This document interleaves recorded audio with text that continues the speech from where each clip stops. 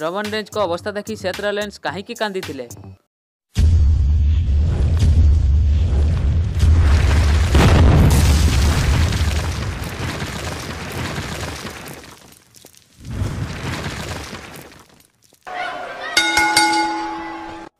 High friends ମୁଁ ତପନ ଆଉ ଆପଣ ଦେଖୁଛନ୍ତି ଓଡ଼ିଶାର ଏକମାତ୍ର wrestling news channel wrestle Odia ତ ସମଗ୍ର ରେସଲିଂ ଫ୍ୟାନ୍ ରମନ ରେଞ୍ଜଙ୍କର ଗୋଟିଏ ଦୁଃଖଭରା ଏନାଉନ୍ସରେ ବହୁତ ଦୁଃଖିତ ହୋଇଗଲେ। ତାହା ହେଲା ତାଙ୍କୁ ଲୁକିମିଆ କ୍ୟାନ୍ସର ପାଇଁ ଡବ୍ଲ୍ୟୁଡବ୍ଲ୍ୟୁଇରୁ କିଛି ଦିନ ବିଦାୟ ନେବାକୁ ପଡ଼ିବ। କେବଳ ରେସଲିଂ ଫ୍ୟାନ୍ ନୁହଁ ବରଂ ରମନ ରେଞ୍ଜଙ୍କର ସିଲ୍ଡ ଭାଇ ସେଥ୍ ରୋଲେନ୍ସ ମଧ୍ୟ ଏହି କଥା ଶୁଣି କାନ୍ଦି ପକାଇଥିଲେ ହେଲେ ସେ କାହିଁକି ଏମିତି ହେଲେ? ଚାଲନ୍ତୁ ଆଜିର ଏପିସୋଡରେ ଆଲୋଚନା କରିବା। ତେବେ ରମନ ରେଞ୍ଜଙ୍କ ସହ ସେଥ୍ ରୋଲେନ୍ସ ମଧ୍ୟ ବହୁତ କ୍ଲୋଜ୍ ରହିଛନ୍ତି। କେବଳ ଯେ ରମନ ରେଞ୍ଜଙ୍କର ବେଷ୍ଟ ଫ୍ରେଣ୍ଡ ଡିନ୍ ଏମ୍ରୋଜ ହୋଇଗଲେ ତାହା ନୁହେଁ ବରଂ ସେଥ୍ ରୋଲେନ୍ସଙ୍କର ବନ୍ଧୁତା ମଧ୍ୟ ଡିନ୍ ଏମ୍ରୋଜଙ୍କ ଠାରୁ ବଡ଼ ଏହି ତିନି ଜଣ ମେମ୍ବର ଏକାଠି ଡବ୍ଲ୍ୟୁଡବ୍ଲ୍ୟୁଇକୁ ଆସିଛନ୍ତି ତେଣୁ ରମନ ରେଞ୍ଜଙ୍କର ଏହି ଦୁଃଖ କଥାକୁ ଶୁଣି ଦୁଃଖିତ ହେବା ଏବଂ କାନ୍ଦିବା ତ ସ୍ୱାଭାବିକ କଥା ରମନ ରେଞ୍ଜ ଯେତେବେଳେ ଏହି ଦୁଃଖର କଥାକୁ ଦୁନିଆକୁ ଆଣିଲେ ଅର୍ଥାତ୍ ସେ କହିଲେ କି ମୋତେ ଲୁକିମିଆ ପୁଣି ଥରେ ହୋଇଛି ଆଉ ମୁଁ ଡବ୍ଲ୍ୟୁଡବ୍ଲ୍ୟୁଇରେ ଏବେ ଫାଇଟ୍ କରିପାରିବି ନାହିଁ ସେତେବେଳେ ବ୍ୟାକଷ୍ଟେଜରେ ସେଥ୍ ରୋଲେନ୍ସ ବହୁତ କାନ୍ଦିଥିଲେ ଏମିତିକି ତାଙ୍କ ସହିତ ନାୟା ଜାକ୍ସ ଆହୁରି ବହୁତ ଜଣ ଡବ୍ଲ୍ୟୁଡବ୍ଲ୍ୟୁ ସୁପରଷ୍ଟାର ଦୁଃଖିତ ଥିଲେ କାରଣ ରମନ ରେଞ୍ଜ ଜଣେ ଭଲ ଡବ୍ଲ୍ୟୁଡବ୍ଲ୍ୟୁ ସୁପରଷ୍ଟାର ହେବା ସହିତ ଜଣେ ଭଲ ମଣିଷ ମଧ୍ୟ ଥିଲେ। ତେଣୁ ସମଗ୍ର ଦୁନିଆର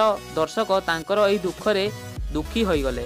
ଏହା ସହିତ ଡବ୍ଲ୍ୟୁଡବ୍ଲ୍ୟୁ ରିଙ୍ଗ ପାଖରେ ମଧ୍ୟ ଯେତେବେଳେ ସିଡ୍ ଭାଇମାନଙ୍କର ଶେଷ ରିୟୁନିୟନ ଦେଖିବାକୁ ମିଳିଥିଲା ସେଥିରେ ତ ଆମେ ସମ୍ପୂର୍ଣ୍ଣ ଭାବରେ ଦେଖିପାରୁଥିଲେ କି ସେଥ୍ ରୋଲେନ୍ସ କେମିତି ନିଜକୁ କଣ୍ଟ୍ରୋଲ ମଧ୍ୟ କରିପାରୁନଥିଲେ ଏବଂ କାନ୍ଦୁଥିଲେ। ବାସ୍ତବରେ କହିବାକୁ ଗଲେ ସେଥ୍ ରୋଲେନ୍ସ ରମନ ରେଞ୍ଜକୁ ନେଇ ବହୁତ ଦୁଃଖିତ ଥିଲେ।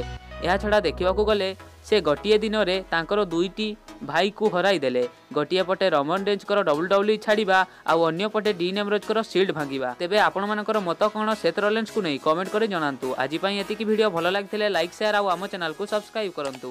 ପୂର୍ବ ଏପିସୋଡ଼ରେ ଯେତେ ଜଣ ସଠିକ୍ ଉତ୍ତର ଦେଇଛନ୍ତି ସେଗୁଡ଼ିକ ନେକ୍ସଟ ଏପିସୋଡ୍ରେ ସଟା ଉଠେଇବ। ତେବେ ଦେଖାହେବ ଆଉ ଏକ ନୂଆ ଏପିସୋଡ଼ରେ ଥ୍ୟାଙ୍କ ୟୁ